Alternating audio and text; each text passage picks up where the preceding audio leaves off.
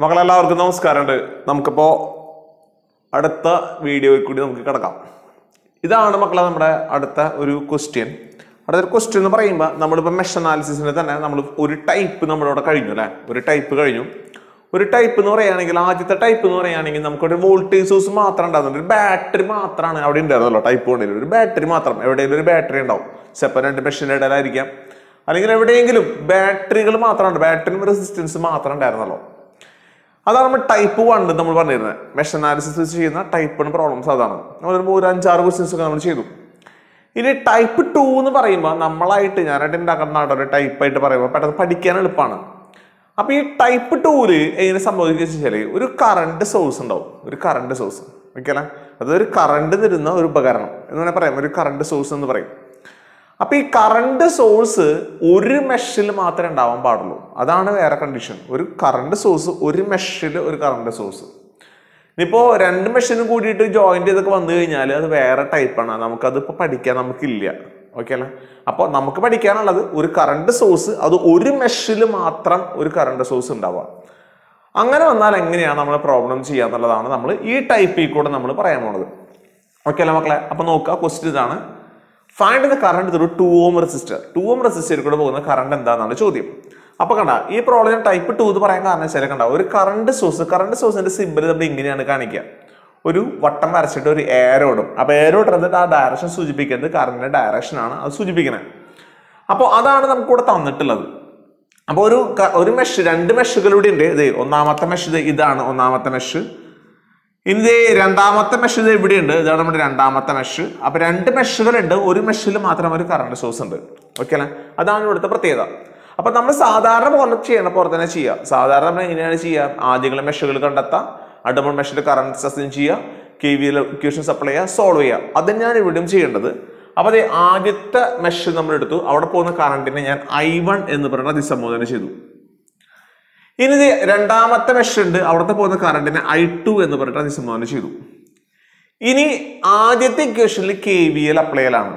മക്കളെ ഇവിടെയാണ് നമുക്ക് എളുപ്പം എന്ന് പറയുന്നത് ഇങ്ങനെ ഒരു മെഷിൽ ഒരു ഒരു കറണ്ട് സോഴ്സ് വന്നാൽ വളരെ എളുപ്പമാണ് നമുക്ക് മെഷ് വണ്ണിൽ നമുക്ക് വളരെ എളുപ്പത്തിൽ നമുക്ക് എന്ത് ചെയ്താം ഒന്നും അപ്ലൈ ചെയ്യേണ്ട ആവശ്യമില്ല.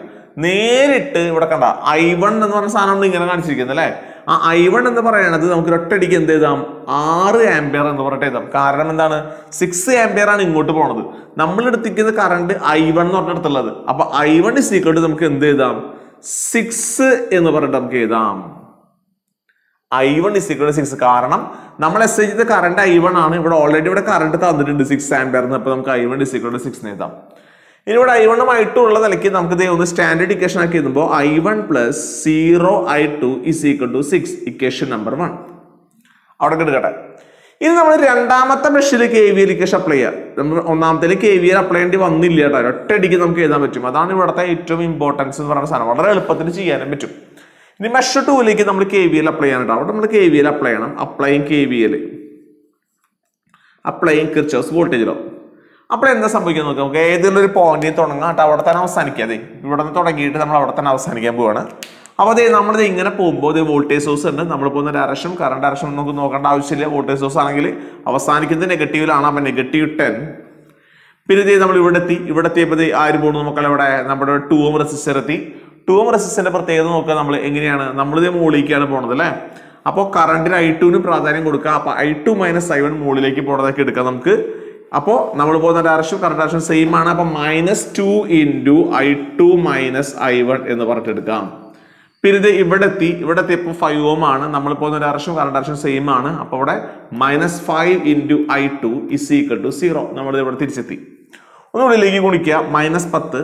Minus two I two plus two I one minus five I two is equal to zero അപ്പോൾ നമുക്ക് ഐ വൺ എഴുതുമ്പോൾ രണ്ട് ഐ വൺ ഐ ടു എത്ര ഉണ്ട്? മൈനസ് ഏഴ് ഐ ടു മൈനസ് പത്തിന് അങ്ങോട്ട് കൊണ്ടുപോകുമ്പോൾ പ്ലസ് പത്തായി. ഇക്വേഷൻ നമ്പർ രണ്ട്.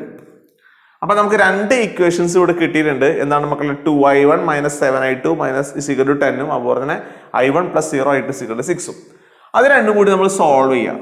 സോൾവിങ് സോൾവ് ചെയ്യുക സോൾവ് ചെയ്യാൻ നമ്മൾ കാൽക്കുലേറ്റർ എടുക്കണം. കാൽക്കുലേറ്റർ എടുക്കുക നമ്മൾ ഇക്വേഷൻ അടിക്കുക. Equation equation number five five എടുത്തു. ഇത് രണ്ട് ഇക്വേഷൻ അപ്പോൾ ഒന്നാമത്തെ നമ്മൾ ടൈപ്പ് ചെയ്തു.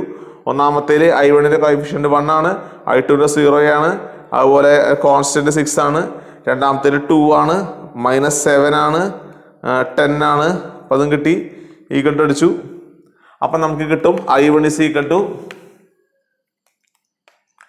I one is equal to six ampere എന്ന് പറഞ്ഞിട്ട് കിട്ടും അതുപോലെ I two is equal to നമ്മൾ എടുക്കുമ്പോൾ എന്ത് വരും? ഐ കൊടുക്കുന്നത് equal zero point two eight six ampere എന്ന് പറഞ്ഞിട്ട് വരും. അപ്പൊ ഐ വണ്ണും ഐ ടു നമുക്ക് കിട്ടി. ഐ വൺ എന്ന് പറയുന്നത് ഓൾറെഡി അണ്ടർസ്റ്റുഡ് ആണ്. ഈ സീക്വൽ സിക്സ് തന്നെയാണ്. അപ്പൊ നമുക്ക് അത് തന്നെ കിട്ടും കേട്ടോ അപ്പൊ നമുക്ക് അത് രണ്ടും കിട്ടി. ഇനി നമുക്ക് എന്താ ചെയ്യേണ്ടത് വെച്ച് കഴിഞ്ഞാൽ ഇനി ചിലപ്പോൾ വിചാരിക്കത്തേക്കൊണ്ട് ഐ വൺ സിക്വൽ സിക്സ് ഈ ഇക്വേഷൻ കൊണ്ട് സബ്സ്റ്റിറ്റ്യൂട്ട് ചെയ്താൽ പോലെ നമുക്ക് വിചാരിക്കും. അങ്ങനെ ചെയ്താലും കുഴപ്പമില്ല. നമ്മൾ സ്റ്റാൻഡേർഡ് ആയിട്ട് ചെയ്യാൻ വേണ്ടിയിട്ട് നമ്മൾ ഇങ്ങനെ ചെയ്തു മാത്രമല്ല കേട്ടോ. രണ്ട് ഇക്വേഷൻ ആയിട്ട് നമ്മൾ ചെയ്തു. എല്ലാ പ്രോബ്ലം ഇതുപോലെയാണ് ചെയ്യാം. നമുക്ക് വേണ്ടത് എന്താണ് വേണ്ട മക്കൾ നമുക്ക്? നമുക്ക് വേണ്ടത് കറണ്ട് ത്രൂ ടു ഓം ആണ് വേണ്ടത് അല്ലേ?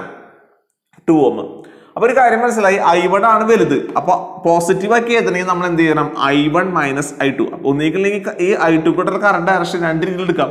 ഒന്നില്ലെങ്കിൽ I one minus I two അങ്ങനെ എടുക്കുമ്പോൾ ഡൗൺവേർഡ് ഡയറക്ഷൻ ആവും. പിന്നെ I two minus I one അങ്ങനെ എടുക്കുകയാണെങ്കിൽ അപ്വേർഡ് ഡയറക്ഷൻ ആവും. അപ്പോൾ ഓൾറെഡി മനസ്സിലായിട്ടൊരു ഐ വൺ ആണ് വലുത് ഐ ടു ആണ് ചെറുതെന്ന്. അപ്പോൾ നമുക്ക് ഐ വണ്ണിന് ഡയറക്ഷൻ എടുക്കാം. അപ്പോൾ അതായത് I one minus I two down downward direction എന്ന് പറഞ്ഞിട്ട് എഴുതാം. അപ്പോൾ therefore current through two ohm. Current through two ohm is equal to I one minus I two എന്ന് പറഞ്ഞിട്ട് എഴുതാം. എത്രയാണ് മക്കളെ? Six minus zero point two eight six is equal to എത്ര വരാം നമുക്ക് നോക്കാം നമുക്ക്? Six minus zero point two eight six ചെയ്തു വരുമ്പോൾ നമുക്ക് five point seven one four ampere എന്ന് പറഞ്ഞിട്ട് നമുക്ക് കിട്ടും. ഇതാണ് കറണ്ട് ത്രൂ എന്ത്? നമ്മുടെ two ohm resistor two ohm റെസിസ്റ്ററിലൂടെ പോകുന്ന കറണ്ടിന്റെ കറണ്ട് എത്രയാണ് നമുക്ക് കിട്ടി. വളരെ സിമ്പിളാണ് അപ്പോൾ ഒന്നുകൂടി എളുപ്പത്തിൽ നമുക്ക് ഒരു കെ ഒരു ക്വഷനിൽ ഒരു മെഷീനിൽ നമുക്ക് കെ വി അപ്ലൈ ചെയ്യേണ്ട ആവശ്യം പോലും നമുക്ക് വരുന്നില്ല. ഓക്കെ അല്ലേ? അപ്പോൾ നമുക്ക് അടുത്ത പ്രോബ്ലത്തിലേക്ക് കടക്കാം. മക്കളെ അടുത്ത ക്വസ്റ്റ്യൻ ഇതാണ് അടുത്ത question find the current through one ohm and power dissipated in two ohm അതായത് വൺ ഓമി കൂടെ പോകുന്ന കറണ്ട് കണ്ടുപിടിക്കണം. പിന്നെ ടു ഓമി കൂടെ ഉള്ള പവർ ഡിസിപ്പേഷൻ എത്രയാണെന്ന് കണ്ടുപിടിക്കണം. ഇത്രയുള്ള മക്കളുടെ പരിപാടി. അപ്പൊ ഇത് ടൈപ്പ് ടു പ്രോബ്ലം ആണെന്ന് മനസ്സിലായി. എങ്ങനെയാണെന്ന് വെച്ചാൽ ഒരു കറണ്ട് സോഴ്സ് ഇവിടെ കണ്ടുകൊണ്ട് ഇതാണ് കറണ്ട് സോഴ്സ് ഒരു ടെൻ ആംപയർ കറണ്ട് സോഴ്സ് ഉണ്ട്. മുകളിലേക്ക് അതിന്റെ ഡയറക്ഷൻ അത് നമുക്ക് തന്നിട്ടുണ്ട്. ഓക്കെ അല്ല? അപ്പോൾ അത് വെച്ചുകൊണ്ട് വേണം നമുക്ക് നമുക്ക് പ്രോബ്ലം നമുക്ക് ചെയ്യാം. അപ്പോൾ നോക്കിക്കോടെ നമ്മൾ നമ്മൾ സാധാരണ പോലെ തന്നെ നമ്മൾ ആദ്യം തന്നെ നമ്മുടെ കെ വി ലൊക്കേഷൻ അപ്ലൈ ചെയ്യുക കെ വി ലൊക്കേഷൻസ് നമ്മുടെ മെഷുകൾ കണ്ടെത്താം. ഒന്ന് രണ്ട് മൂന്ന് മെഷുകളുണ്ട് അപ്പം മൂന്ന് മെഷുകളിൽ നമ്മൾ മെഷ് കറൻസ് അസൈൻ ചെയ്യണം. ഐ വൺ ഇവിടെ ഐ ടു ഇനി ഇവിടെ ഐ ത്രീ മൂന്ന് മെഷുകളും കറണ്ട് അപ്ലൈ ചെയ്തു. ഇനിയിപ്പോൾ ഒരു കാര്യം ശ്രദ്ധിക്കുക. ഇപ്പം നോക്കിക്കോട്ടെ. ഇപ്പം ഇവിടെ ഈ ഡയറക്ഷൻ ഇതിന് പകരം നമ്മൾ അടിയിരിക്കുകയാണെന്ന് വിചാരിക്കുക. അപ്പം നമ്മൾ വേറെ കാര്യം ശ്രദ്ധിക്കണം. നമ്മളിപ്പോൾ ഇങ്ങനെ ആകുമ്പോൾ നമ്മൾ എങ്ങനെ എടുക്കുക? നോക്കിക്കോട്ടെ. മെഷ് വണ്ണിൽ നമുക്ക് വളരെ എളുപ്പമാണ്. ഒന്നും ചെയ്യേണ്ട ആവശ്യമില്ല. മെഷ് വണ്ണിൽ എന്ന് പറയുമ്പോൾ നമുക്ക് ഒന്നും ചെയ്യേണ്ട. എന്ത് ചെയ്യാം? I one is equal to ten എന്നാണ്. കേട്ടോ? ഈ കറണ്ടും ഈ കറണ്ടും സെയിം ആണല്ലോ. അപ്പം ടെൻ എന്ന് എഴുതാം. ഇനിയിപ്പോൾ ഇത് ഡയറക്ഷൻ ഓപ്പോസിറ്റ് ആണ് എങ്കിൽ നമ്മൾ എടുക്കണം I one is equal to minus ten എന്ന് പറഞ്ഞ് എടുക്കണം. ഓക്കെ അല്ല? I one is equal minus ten ഞാനത് പറഞ്ഞത് മാത്രമല്ല കേട്ടോ. ഇവിടെ നമുക്ക് അതിന് ആവശ്യമില്ല. I one is equal minus ten എന്ന് പറഞ്ഞ് എടുക്കണം. അപ്പോൾ എന്തൊരു ഭംഗിയാക്കുമ്പോൾ I one I two I three ഉള്ള കാര്യം നമുക്ക് I one plus zero I two plus zero I three is equal to ten എന്ന് പറഞ്ഞിട്ട് എഴുതാം. ഇക്വേഷൻ നമ്പർ വൺ അവിടെ എടുക്കട്ടെ. ഇത് നമുക്ക് മെഷ് ടൂവിൽ കെ വിയിൽ അപ്ലൈ ചെയ്യാം. മെഷ് ടൂവിൽ നമുക്ക് കെ വിയിൽ അപ്ലൈ ചെയ്യാം. മെഷ് ടൂവിൽ കെ വിയിൽ അപ്ലൈ ആണ്. മെഷ് ഒരു കെ വി എൽ അപ്ലൈ ചെയ്യുമ്പോൾ നമുക്ക് എവിടെ നിന്നെങ്കിലും പോയിട്ട് അവിടെ തന്നെ തിരിച്ചു വരാം. ദേ നമുക്ക് എവിടെ നിന്ന് പോകണ്ട? ഇവിടെ നിന്ന് തുടങ്ങാം. ഇവിടെ നിന്ന് പോയിട്ട് നമുക്ക് അവിടെ തന്നെ തിരിച്ചു വരാം. അപ്പോൾ ഇവിടെ നിന്ന് പോയിട്ട് നമ്മൾ ഇങ്ങനെ പോകുമ്പോൾ നമുക്ക് ഐ ടുവിനാണ് പ്രാധാന്യം. അപ്പോൾ നമ്മൾ ഐ ടു മൈനസ് സെവൻ മുകളിലേക്ക് എടുക്കുകയാണ്. അപ്പം minus three into I two minus I one എന്ന് പറഞ്ഞെടുത്തു ഇത് ഇവിടെ എത്തി. ഇവിടെ എത്തിയപ്പോൾ നെഗറ്റീവ് പൊളാരിറ്റിയിലാണ് അവസാനിക്കുക. അപ്പോൾ നെഗറ്റീവ് ടെൻ അതുപോലെ ഇങ്ങോട്ട് എടുക്കുമ്പോൾ നമ്മൾ ഐ ടുവിന് പ്രാധാന്യം കൊടുക്കുകയാണെങ്കിൽ I two minus I three ആയിരിക്കും. Minus two into I two minus I three is equal to zero ഉള്ളിലേക്ക് ഗുണിക്കുക. Minus three I two plus three I one minus ten minus two I two plus two I three is equal to zero അപ്പോൾ three I one പിന്നെ I two എത്ര ഉണ്ട്? Minus three I two അപ്പോൾ minus five I two plus two I three is equal to ten എന്ന് പറഞ്ഞിട്ട് എഴുതാം equation number two minus three I one minus five by two plus two by three equal to ten equation number two കിട്ടി. ഇത് നമ്മൾ mesh ത്രീയിൽ apply ചെയ്യാം. Mesh ത്രീയിൽ K V L apply ആണ്. കെ വി എൽ അപ്ലൈ ചെയ്യുമ്പോൾ എവിടെ നിന്നും ഒരു പോയിന്റിൽ തുടങ്ങാം. അവിടെ തന്നെ തിരിച്ചെത്താം. ഞാൻ ഇവിടെ നിന്ന് തുടങ്ങാണ് കേട്ടോ. അവിടെ തന്നെ തിരിച്ചെത്താണ്. അപ്പോൾ ഇത് അവസാ ഇവിടെ നിന്ന് പോകുമ്പോൾ അവസാനിക്കുന്നത് പോസിറ്റീവിലാണ് അപ്പോൾ പോസിറ്റീവ് ടെൻ എന്ന് പറഞ്ഞിട്ട് നമുക്ക് എഴുതാം. ഇത് ഇവിടെ എത്തി. ഇവിടെ എത്തിയപ്പോൾ കറണ്ട് വൺ ഓം ആണ്. അപ്പോൾ നമ്മൾ പോകുന്ന ഡയറക്ഷനും കറണ്ട് ഡയറക്ഷനും സെയിം ആണ്. അപ്പോൾ നമുക്ക് കറണ്ട് ഇവിടെ ഐ ത്രീ ആണ്. അപ്പോൾ minus one into I three എന്ന് പറഞ്ഞിട്ട് ഇതാ എന്നിട്ട് നമ്മൾ ഇവിടെ എത്തി ടു ഓമിലേക്ക് എത്തി ടു ഓമിലേക്ക് എത്തിയപ്പോൾ നമ്മൾ ഐ ത്രീക്ക് പ്രാധാന്യം കൊടുക്കത്തക്ക രീതിയിൽ എഴുതുമ്പോൾ I three minus I two മുകളിലേക്കേക്ക് എടുക്കാം നമ്മൾ പോകുന്ന ഡയറക്ഷനും കറണ്ട് ഡയറക്ഷനും സെയിം ആണ്. അപ്പൊ minus two into I three minus I two is equal to zero എന്ന് പറഞ്ഞിട്ട് എഴുതാം. അതായത് ten minus I three minus two I three plus two I two is equal to zero എന്ന് പറഞ്ഞിട്ട് എഴുതാം. അപ്പൊ ഭംഗീകരിക്കുമ്പോൾ ഇവിടെ മൈനസ് ആദ്യം ഐ വൺ ഇല്ല അല്ലെ? ഐ വണ്ണിന്റെ ടൈം ഇല്ല? അപ്പൊ നമുക്ക് സീറോ ഐ വൺ എന്ന് പറയട്ടെ ഇതാ. രണ്ട് ഐ ടു ഉണ്ട്. പിന്നെ മൈനസ് മൂന്ന് ഐ ത്രീ ഉണ്ട്. പത്തിന് അങ്ങോട്ട് പോകുമ്പോൾ മൈനസ് പത്തായി. മൈനസ് പത്ത് ഇസ് ഈക്വൽ ടു ത്രീ സംശയം വിചാരിക്കുന്നു. എങ്ങനെയാണ് നോക്കാം zero I one I two two I two പിന്നെ ഐ ത്രീ ഉള്ളത് minus I three minus two minus three I three ten അപ്പോഴും മൈനസ് ടെൻ ആയിട്ട് മാറി. അപ്പൊ നമുക്ക് കിട്ടി. മൂന്ന് ഇക്വേഷൻസ് കിട്ടി. അപ്പോൾ നമുക്ക് സോൾവ് ചെയ്യാം. സോൾവിങ് നമുക്ക് എന്താ നോക്കാം? അപ്പോൾ കാൽക്കുലേറ്റർ എടുക്കാം. കാൽക്കുലേറ്റർ നമ്മൾ എന്തെടുക്കുക മോഡ് ഇക്വേഷൻ എടുക്കുക അഞ്ചെടുക്കുക രണ്ടാമത്തെ മോഡ് എടുക്കുക കാരണം മൂന്ന് അണോൺസ് ഉണ്ട്. അപ്പോൾ നമ്മൾ എടുക്കുമ്പോൾ ആദ്യത്തേൽ വൺ ഐ വണ്ണിന്റെ കോഫിഷ്യന്റ് വൺ ഐ ടുവിന്റെ കോഫിഷ്യന്റ് സീറോ ഐ ത്രീന്റെ കോഫിഷ്യന്റ് സീറോ പിന്നെ അപ്പുറത്ത് ഈ constant ten രണ്ടാമത്തേൽ three minus five two ten ഇപ്പുറത്ത് വരുമ്പോൾ നമുക്ക് സീറോ ടു മൈനസ് ത്രീ പിന്നെ അപ്പുറത്ത് മൈനസ് ടെൻ. കിട്ടി? ഈക്വൽ ടു അടിക്കുക. അപ്പൊ നമുക്ക് കിട്ടും I one is equal to ten ampere അത് കറക്റ്റ് ആണ്. ഇനി ഐ ടു സമം എത്ര വരെ നോക്കാം? ഐ ടു സമം seven point two seven ampere അതുപോലെ ഐ ത്രീ സമം എത്ര വരെ നോക്കാം? Eight point one eight ampere എന്ന് പറഞ്ഞിട്ട് കിട്ടിയിട്ടുണ്ടാവും. അപ്പൊ മൂന്ന് കറണ്ടുകൾ നമുക്ക് കിട്ടി. ഐ വണ്ണും ഐ ടു ഐ ത്രീയും കിട്ടി നമുക്ക്. നമുക്ക് കണ്ടുപിടിക്കേണ്ടത് എന്താണെന്ന് വെച്ച് കഴിഞ്ഞാൽ നമുക്ക് കണ്ടുപിടി ഒരു കാര്യം ശ്രദ്ധിക്കാട്ടോ നമ്മൾ എപ്പോഴും ഇങ്ങനെ എഴുതണം കണ്ട സ്റ്റാൻഡേർഡ് രൂപത്തിൽ I one I two I three ആദ്യം ഐ വണ്ണിന്റെ ടൈം ഐ ടുന്റെ ടൈം ഐ ത്രീ ടൈം കണ്ട. ഇവിടെയും അതുപോലെ തന്നെ I one I two I three I one I two I three അല്ലെങ്കിൽ നമുക്ക് കാൽക്കുലേറ്റർ അടിക്കുമ്പോൾ തെറ്റുപോകാൻ സാധ്യത വളരെ കൂടുതലാണ്. അപ്പൊ നമുക്ക് കണ്ടുപിടിക്കേണ്ടത് ആദ്യത്തെ question current through one ohm അത് ഐ ത്രീ ആണ് അല്ലെ?